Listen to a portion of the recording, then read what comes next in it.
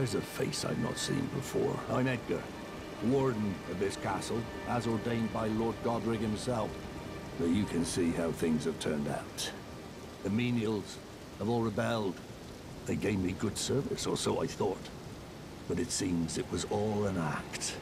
Foul creatures, as it said, and true enough, they're foul inside and out. I'm sorry to disappoint you, but whatever you come here to do, I'm afraid Castle Morne won't hold much longer.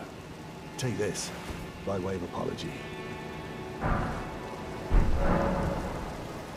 I see. From Irina. Thank you. I'm in your debt, but I can't leave yet.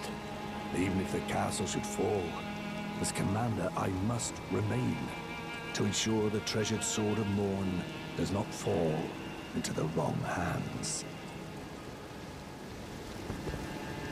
If you see Irina, do tell her that her father will come for her once he's fulfilled his duty.